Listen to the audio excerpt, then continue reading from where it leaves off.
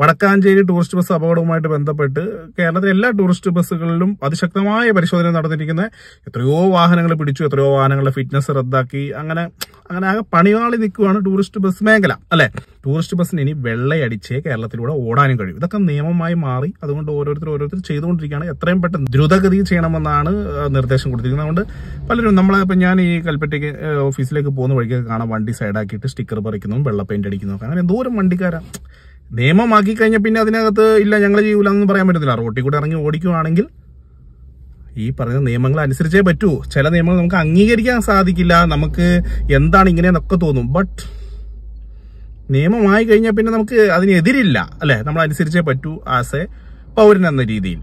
അപ്പോൾ ഇപ്പൊ നമ്മൾ ഞാൻ കുറച്ച് വീഡിയോസ് കണ്ടു. കുറച്ച് ആളുകളൊക്കെ നമ്മൾ ഇങ്ങനത്തെ ഈ ടൂറിസ്റ്റ് ബസ്സിനെ കുറിച്ചുള്ള വീഡിയോസ് ഒക്കെ ഇടുമ്പോൾ അതിന്റെ അടിയിൽ വന്ന് കമന്റ് ഇടുന്നതും കാണാം. ഈ സ്റ്റിക്കർ ഒട്ടിച്ചത് കൊണ്ടാണോ ലൈറ്റ് പിടിപ്പിച്ചത് കൊണ്ടാണോ സ്പീക്കർ ഉള്ളതുകൊണ്ടൊക്കെ ആയിരുന്നു വടക്കാഞ്ചേരി അപകടം നടന്നത്. അല്ലെങ്കിൽ ഇതുവരെ അപകടം നടന്നത്. അല്ല സത്യമാണ്.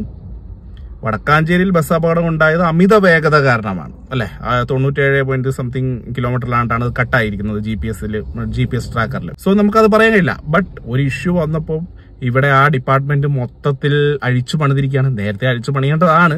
ബട്ട് ഇവിടെ അങ്ങനെയാണ്. ഇത് കേരളമാണ് ഇവിടെ അങ്ങനെയാണ്. എന്തെങ്കിലും ഇഷ്യൂ ഉണ്ടാകുമ്പോഴാണ് ഇവിടെ മൊത്തത്തിൽ അഴിച്ചുപണി നടക്കുക.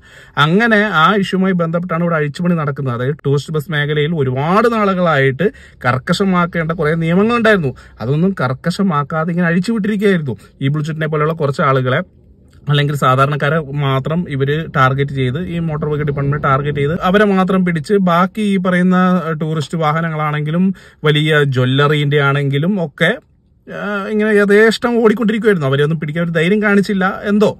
എന്താണെങ്കിലും ഇപ്പൊ കർക്കശമായപ്പം എല്ലാവരും ഇവർ പിടിക്കുവാണ്. മനസ്സിലായില്ലേ? അപ്പോൾ ഈ സ്റ്റിക്കർ ഒട്ടിച്ചത് കൊണ്ടാണോ അപകടം ഉണ്ടായത് ചോദിച്ചാൽ അല്ല. അമിത വേഗത കൊണ്ടാണ്. അമിത വേഗതയ്ക്ക് വേണ്ടി സ്പീഡ് ഗവർണർ ശക്തമാക്കാനുള്ള നടപടികൾ വന്നുകൊണ്ടിരിക്കുന്നുണ്ട്. അങ്ങനത്തെ കാര്യങ്ങൾ നടക്കുന്നുണ്ട്. പിന്നെ ഇവിടെ നിയമം അനുശാസിക്കുന്നില്ല. സ്റ്റിക്കർ ഒട്ടിച്ച് അല്ലെങ്കിൽ മോഡിഫിക്കേഷൻ എങ്കിൽ നമുക്കൊന്നും ചെയ്യാൻ കഴിയില്ല. അല്ലെ? നിവേദനം കൊടുക്കുക നിർദ്ദേശങ്ങൾ പറയുക സജഷൻസ് പറയുക എന്നൊക്കെ അല്ലാതെ ഇവിടുത്തെ നിയമത്തിനെതിരായിട്ട് നമുക്കിതിൽ ഓടാൻ കഴിയില്ല. ആർക്കും. മനസ്സിലായില്ലേ? അപ്പോൾ നമ്മുടെ ആ ഈ പറയുന്ന വീഡിയോസിന്റെ കടയിൽ മറ്റൊരു കമന്റ് ആണ്. ഈ കേരള ബ്ലാസ്റ്റേഴ്സിന്റെ നല്ല മഞ്ഞ പെയിന്റ് മഞ്ഞ സ്റ്റിക്കറൊക്കെ അടിച്ച് നല്ല സൂപ്പർ നല്ല ലുക്കാ വണ്ടി കാണാം അല്ലെ? കേരള ബ്ലാസ്റ്റേഴ്സിന്റെ താരങ്ങൾ യാത്ര ചെയ്യുന്ന പരിശീലനത്തിനും അവർ ഗെയിമിനും ഒക്കെ ആയിട്ട് വരുന്ന ആ അവരുടെ വാഹനം. അതിന് തന്നെ ഒരു ഫാൻ ബേസ് ഉണ്ട്. അപ്പൊ അതിനെയും മോട്ടോർ വെഹിക്കിൾ ഡിപ്പാർട്ട്മെന്റ് പിടിച്ച് അതിന്റെ ഫിറ്റ്നസ് എല്ലാം റദ്ദാക്കിയിട്ടുണ്ട് ആ വാഹനത്തിന്റെ. അപ്പോ കുറെ ആളുകൾ മെസ്സേജ് ഇട്ടിട്ടുണ്ട്. എന്തിന് ഇത്രയും നമ്മുടെ വികാരമായ കേരള ബ്ലാസ്റ്റേഴ്സിന്റെ വാഹനം അങ്ങനെ പിടിക്കാൻ പാടില്ലായിരുന്നു? വളരെ മോശമായി പോയി ആ കാരണം നമ്മുടെ അഭിമാനമല്ലേ? അങ്ങനെ ചെയ്യാൻ പാടില്ലായിരുന്നു എന്നൊക്കെ പറഞ്ഞിട്ട് കുറെ കമന്റ് ഉണ്ട് ബട്ട് ഞാൻ അതിനോട് യോജിക്കുന്നില്ല. നിയമം എല്ലാവർക്കും ഒരേപോലെ ആവണമെന്നാണ് ഞാൻ ചിന്തിക്കുന്നത്. അത് എത്ര മാത്രം ഇവിടെ പ്രായോഗികമാണെന്നറിയില്ല. ഈ പറയുന്ന കാറുകൾ കൂൾ ഫിലിം നിരോധിച്ചപ്പോൾ മന്ത്രിമാരും എം എൽ എമാരും മറ്റ് പ്രമുഖരായ ആളുകളും കർട്ടണിട്ടും മറ്റു പല സാധനങ്ങൾ വെച്ച് മറച്ചൊക്കെ ഇതിൽ ഓടുന്നൊക്കെ ഉണ്ട്.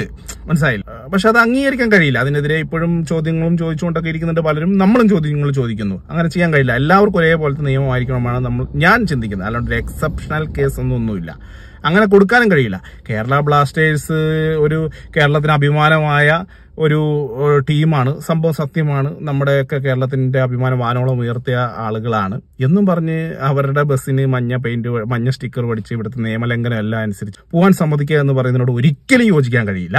ഇനിയിപ്പം ബാക്കി എല്ലാ വാഹനങ്ങളും പിടിച്ച് വെള്ള നിറത്തിലാക്കി കേരള ബ്ലാസ്റ്റേഴ്സിന് മാത്രം മഞ്ഞായിട്ട് പോകുമ്പോൾ ഇതേ ആളുകൾ വന്ന് ചോദിക്കും അതെന്താ? അവർക്കെന്താ പ്രത്യേകത?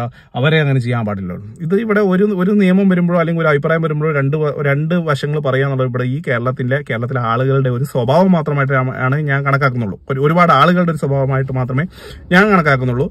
തീർച്ചയായും മോട്ടോർ വെഹിക്കിൾ ഡിപ്പാർട്ട്മെന്റ് ഞാൻ അഭിനന്ദിക്കുകയാണ്. ഇത്രയും വലിയ ഒരു കാര്യം അവർക്ക് ചെയ്യാൻ സാധിച്ചതിൽ അവരെ ഞാൻ ആദ്യമായിട്ട് സല്യൂട്ട് ചെയ്യാണ് കാരണം അങ്ങനെ വേണം ചെയ്യാൻ. അങ്ങനെ ഒരു തരംതിരിവൊന്നും ഉണ്ടാകാൻ പാടില്ല. എല്ലാവരെയും പിടിക്കണം.